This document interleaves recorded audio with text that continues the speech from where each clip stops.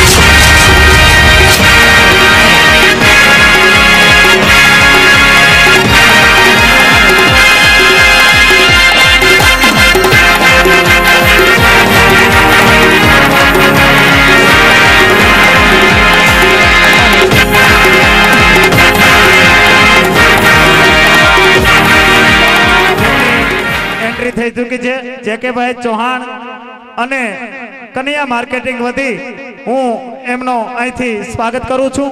જેની જોતા હતા વાટ એ શેરીમાં હામા મળ્યા. ખુલ્યા હૈયાના હાડ એને કામનો પડ્યા કુચી તણા. થમથડકે મેળી હશે, ખેલન લગી ખાટ.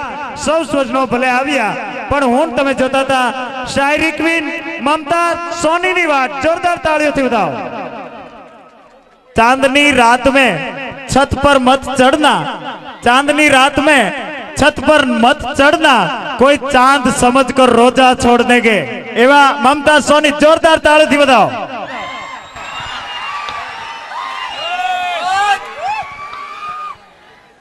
કોઈને પ્રેમની ખબર નથી હોતી?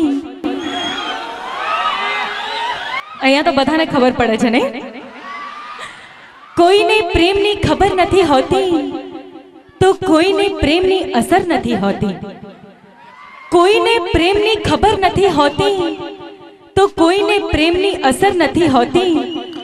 બહુ ઓછાને મળે છે સાચો પ્રેમ આ જગતમાં. બહુ ઓછાને મળે છે સાચો પ્રેમ આ જગતમાં. પણ જેને મળે છે ને એને કદર નથી હોતી. પણ મિત્રો, તમારું પ્રેમ જે અમને મળી રહ્યું છે, એની અમને ખબર પણ છે. એની અસર પણ છે અને એની ખૂબ જ કદર પણ છે.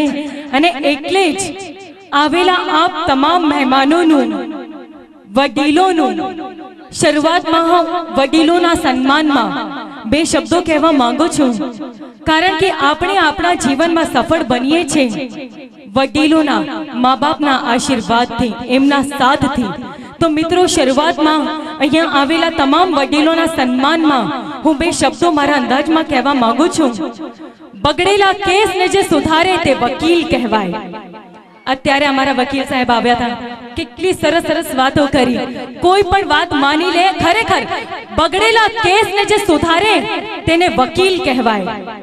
બગડેલા કેસને જે સુધારે તે વકીલ કહેવાય. પણ કેસને બગડવા જ ના દે, એવા આપણા વડીલ કહેવાય. તો આવેલા તમામ મહેમાનોનું, વડીલોનું સ્નેહ વિશેષરીઓનું મારી બહેનોનું અને મારા ભાઈઓનું. એ હાય, આ શું થયું? કેમ આમાં મારા મિત્રોનું? ઓય હોય, કાકા તો કેવો ખુશ થાય છે હજુ આ ઉંમરમાં તમારે ફ્રેન્ડશિપ કરવી છે? ચલો ને મારા મિત્રોનું ખૂબ ખૂબ અભિનંદન અને હાર્દિક સ્વાગત. અને સ્ટેજ ઉપર ઉપસ્થિત તમામ કલાકારોને પણ હું પ્રણામ કરું છું. રાજદીપ બારોટે કેટલા સરસ મજાના ગીતો ગાયા. મિત્રો, આપણા જીવનમાં ગીતોનું બહુ મહત્વ છે. આપણે જ્યારે દુખી હોઈએ, ત્યારે બેવફાઈના ગીતો સાંભળીએ. કોઈને પ્રપોઝ કરવું હોય તો પ્રેમના ગીતો સંભળાઈએ. અને આપણા સમાજ ઉપર ગર્વ કરવું હોય તો આપણા લોકગીતો સાંભળીએ. તો મિત્રો, આટલું સરસ જે કામ કરી રહ્યા છે એવા સરસ મજાના કલાકાર, એવા રાજદીપ બારોટનું પણ ખૂબ ખૂબ ધન્યવાદ. સ્ટેજ ઉપર ઉપસ્થિત તમામ કલાકારોને પણ હું પ્રણામ કરું છું. અને એની સાથે સાથે કનૈયાએ આ રાધાને ઇન્વાઇટ કર્યા છે. એવા કનૈયા માર્કેટિંગના તમામ આયોજક મિત્રોનું ખૂબ ખૂબ ધન્યવાદ. આપ તમામ લોકોનું પણ મિત્રો સાચી વાત છે. લક, ભાગ્ય ખૂબ જ મહત્વનું હોય છે. હું ફક્ત એક નાનકડી વાત કહેવા માંગુ છું. હું જ્યારે ઇન્ડસ્ટ્રીમાં આ ફિલ્મ લાઈનમાં એન્ટર નહોતી થઈ, મને જૂનાગઢથી એક ફોન આવ્યો હતો કે અહીંયા એક પિક્ચરનું શૂટિંગ ચાલી રહ્યું છે. તમે અહીંયા આવો ઓડિશન માટે. હું ત્યાં ગઈ, એસી ઉંમરના જે પ્રોડ્યુસર ડાયરેક્ટર હતા, એમને મને જોઈ, મને કીધું, હું આ પિક્ચરમાં તને જ લઈશ. તારી આંખો જોઈને હું કહું છું કે તું આ ઇન્ડસ્ટ્રીમાં બહુ નામ કમાવશે. તો મિત્રો, આ નસીબની વાત છે, તેવા આપણા નસીબ ઉપર આપણને ગર્વ હોવો જોઈએ અને તમે વિશ્વાસ રાખો, તમારું નસીબ સારું હશે તો જરૂર. અને એમ તો આટલી સરસ સ્કીમ છે, કદાચ બધાને ઇનામ લાગશે. એવી સ્કીમ છે તો તમે જરૂરથી આમાં તમારું ભાગ્ય અજમાવો. અને આજે really I am very much thankful to all of you and because I am coming from an entertainment field હું એક મનોરંજનની દુનિયાથી આવું છું. તો થોડી ઘણી બે ચાર વાતો કરવા માંગુ છું. પણ હું સ્ટેજ ઉપરથી જે કંઈ શેરો શાયરી કરું છું અમારા નોજવાન મિત્રો, અમારા પ્રેમી પંખીડાઓ, આ ઘાયલ દિલો, આ સનેડાઓ, આ લોકો બહુ એન્જોય કરે છે. પણ હું આ બધી શેરો શાયરીની શરૂઆત કરું, એના પહેલા બે ચાર મારા દિલની વાત કરવા માંગુ છું. થોડાક સમય પહેલા મારી અને વિક્રમ ઠાકોરની એક ફિલ્મ આવી હતી, મા બાપના આશીર્વાદ.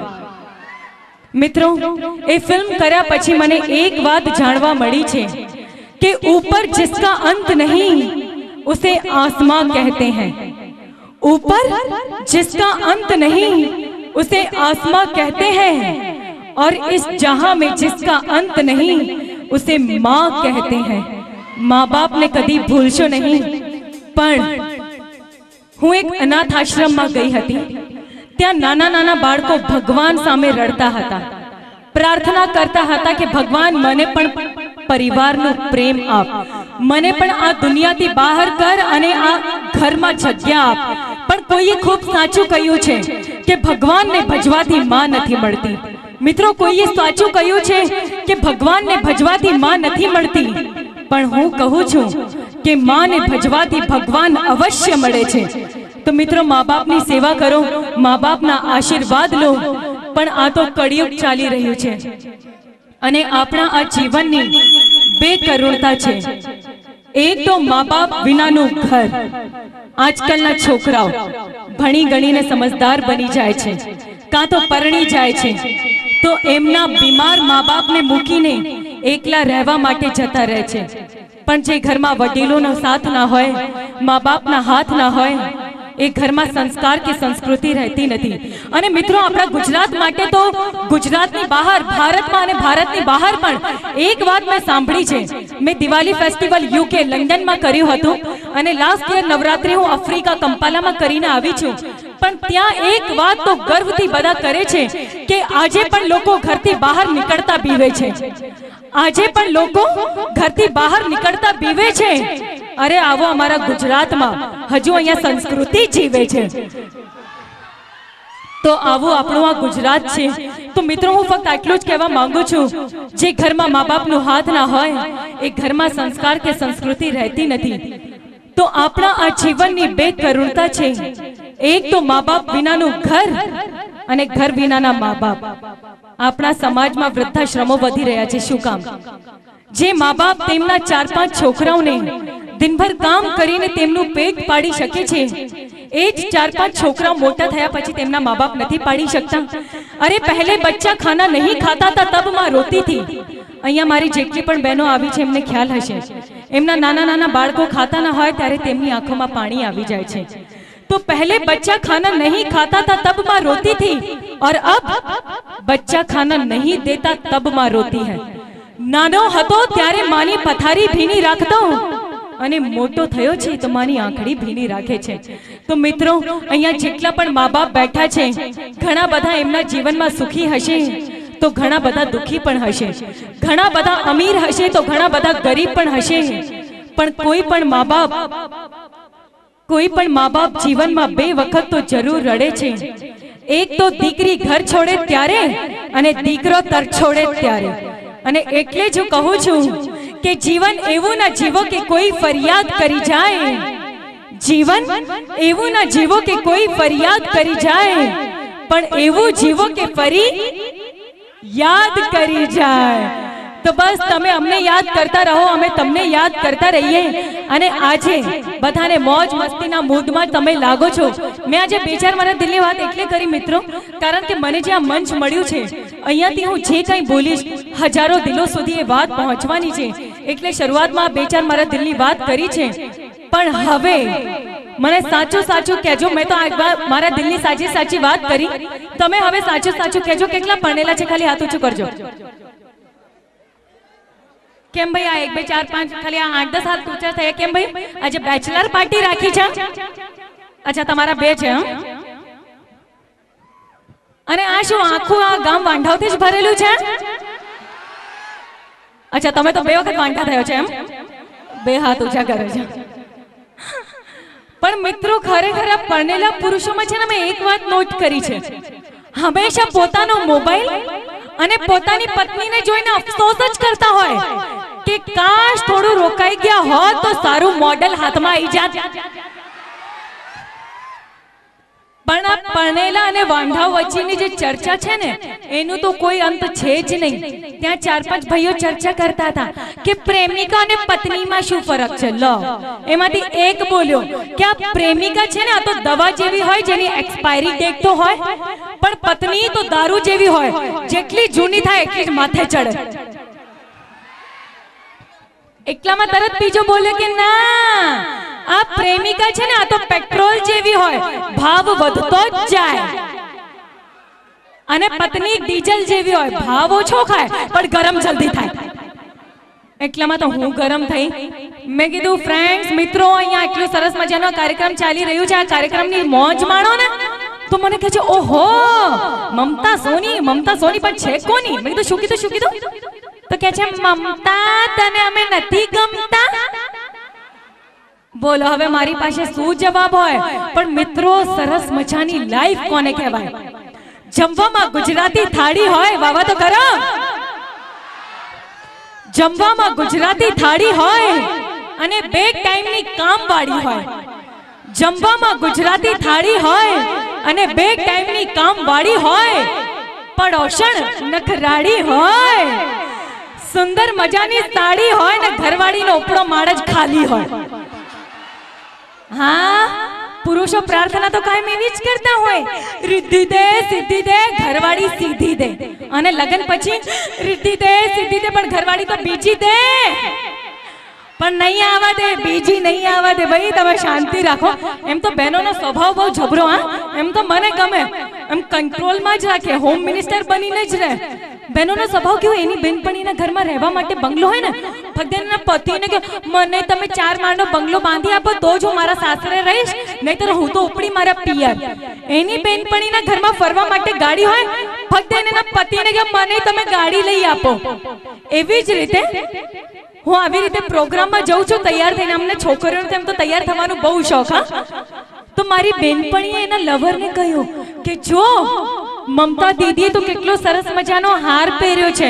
તમે તો મને આવું લઈ નહીં આપતા. તો એના લવરે શાયરી ફટકારી કે સિતારા પણ તોડી લાવું તારા ચોકમાં? અને ગાંડી, હીરાનો હાર પણ પહેરાવું તારા ડોકમાં. અહીંયા જેટલા પણ પરણેલા છે, તમે રેકોર્ડ કરી લેજો. તમારી ધર્મપત્ની ડિમાન્ડ કરે ને, એટલે શાયરી સંભળાઈ દેવાની. કે સિતારા પણ તોડી લાવું તારા ચોકમાં? અને ગાંડી હીરાનો હાર પણ પહેરાવ તારા ડોકમાં. પણ અત્યારે બહુ મંદી ચાલી રહી છે તો મારી પત્તા ઠોકમાં. આજે તો ઢગલા બંધ ઘરે ઘર શાયર બની ગયા છે બધા.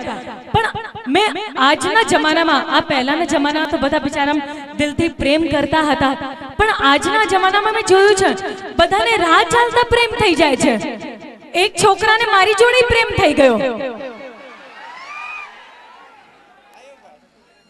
એ તો ના કહેવાય કાકા બહુ રસ લે છે કોણ હતો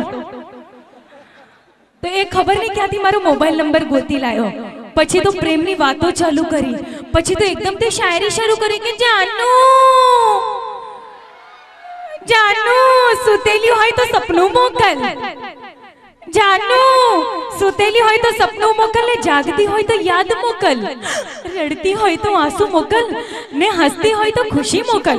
મેં કીધું, અલ્યા, વાસણ ધોવા બેઠી છું અઠવાડું મોકલું. હા, ભાઈ, આજકાલના આશિકો હાર માને જ નહીં ને. પણ ખરેખર મિત્રો, આજે આપણી વચ્ચે આવીને ખૂબ જ મજા આવી.